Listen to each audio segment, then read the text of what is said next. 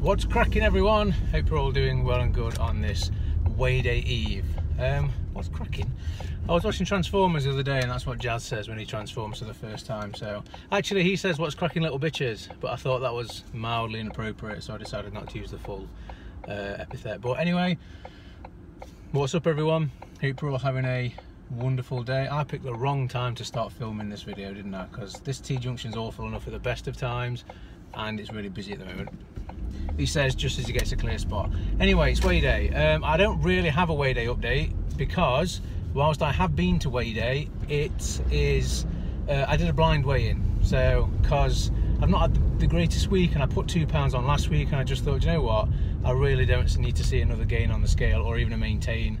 Um, I just wanted to kind of feel half decent about myself. Um, so I, I blind weighed, so I have absolutely no idea what that's the proper dad run you've just done across that road then. That was hilarious. Uh, I don't have a proper proper weighing update. Um, what I do have though is the news that finally, after about three weeks of saying that I was going to, I actually joined a local gym. So we'll see how that goes. Uh, it's a fairly decent one. It's like 17 quid a month or something and you can there's no contract so you can cancel it whenever you want which is pretty good. So I thought I'd give it a month while while it was a bit quieter at work over the summer while I'm in and out on holiday and stuff like that. I figured I'd give it a go and if I didn't like it come you know early to mid-September I didn't have to go for a second month. But I had an induction day last night um, so yeah it could be could be a good one.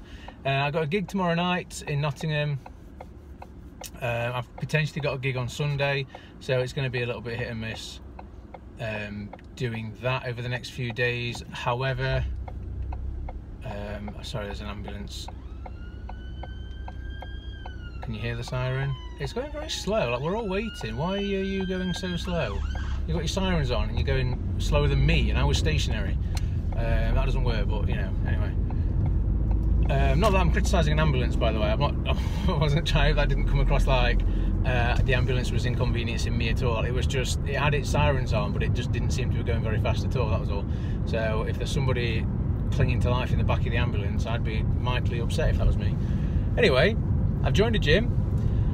Um, some of you might have noticed that in that montage video I did a few months ago now, um, it didn't look like I was in a public gym. I wasn't. Uh, my, my dad's kind of got a little gym set up at his house um, which is great. But at the same time, despite the fact that it's like less than 10 miles from my workplace to my mum and dad's house, I have to drive through not only the outskirts of the town that I work in, but the town that I, my mum and dad live in as well. And it can take anywhere from 20 minutes on a good day to like an hour on a really bad day if I catch rush hour traffic. So if I leave work at five-ish or half five, which is probably in the first few weeks of September what's going to happen, but I try get to their house at half past six. It just I haven't got that level of commitment right now. If I thought if I could get started and do a month or so at a gym, that's fine. There's another flashing light there. Looks like someone's been pulled over. Man, what a shining endorsement for the village I live in or the town I live in. This has been. Uh, so anyway, yeah, I've joined a gym. You stay there. Okay, that might have been my fault slightly, but um, I had more than enough time and he was coming very fast. So yeah, negligible really. Uh, so no weigh in. I've joined a gym though, so hopefully uh, that's about the fourth time I've said that.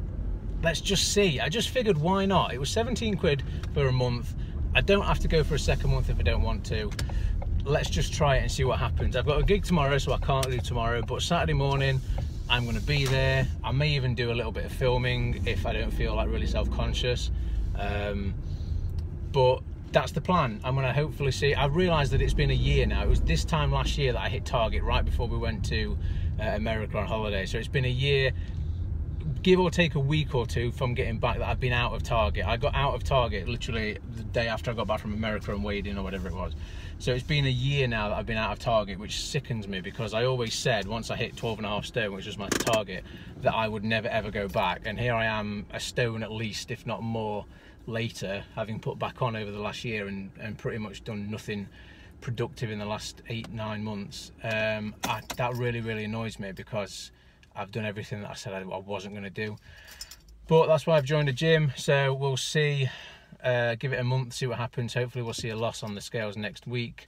Um, and we'll just have to take it from there. So I've parked up at Asda. I might, I don't know what I'm going to do tonight. I've got loads of stuff at home, so uh, apart from the essentials, like I need to buy things like yogurts and water and that kind of stuff. So we'll just have to see. So uh, I'm going to go and pick up some little bits and hopefully next week I will have a really really good loss on the scales and a really positive week uh, in the gym so that's it really not quite the update that I wanted um, or that you might have been expecting but blind weigh gym out of target for a year let's get my thing pull my finger out and just get back on it I suppose